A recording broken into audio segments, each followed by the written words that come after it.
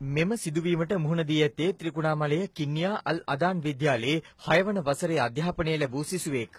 පාසල් විවේක කාලයේදී සුදු ඇඳුමින් සැරසුණු පුද්ගලයෙකු පැමිණ තමන්ගෙන් රුධිර සාම්පල ලබාගත් බවට සිසුවා සඳහන් කර තිබෙනවා.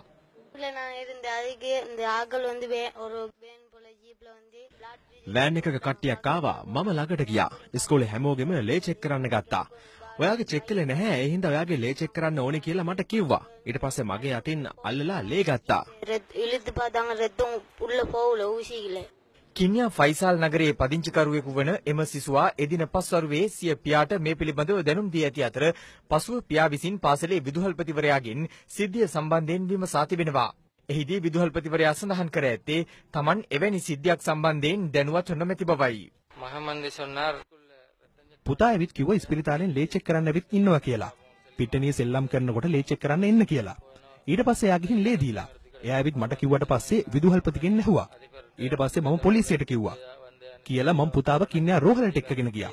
කින්යා රෝහලෙන් පුතා ත්‍රිකුණාමලයට මාරු කළා. ත්‍රිකුණාමල දිස්ත්‍රික් රෝහලින් ඉදිරි පරීක්ෂණ කටයුතු සඳහා සිසුවාගෙන් ලේ සාම්පලයක් ලබාගෙන ඇති අතර පසුව සිසුවා රෝහලින් පිටව ගොස් තිබෙනවා. සිද්ධිය සම්බන්ධයෙන් පොලිස් පරීක්ෂණ ක්‍රියාත්මකයි.